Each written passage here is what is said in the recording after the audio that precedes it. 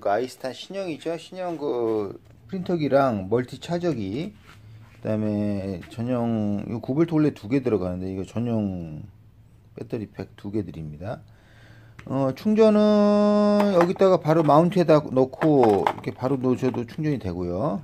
충전 완충된 상태입니다. 이렇게 충전하시면 돼요. 하시고 또 하나는 이제 이 기계 본체에다가 밀어놓고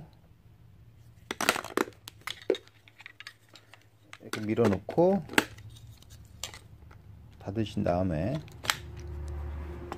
이렇게 마운트 올려 놓으시면은 충전이 됩니다. 어, 요, 요, 요 본체는 못 드려요. 그리고 프린터.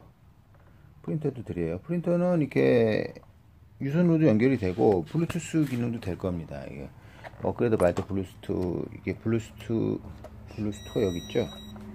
이렇게 연결해서 블루투스 될 것 같고. 하여튼 뭐 이 마운트는 이렇게 드리고 셀 하나 드립니다. 자,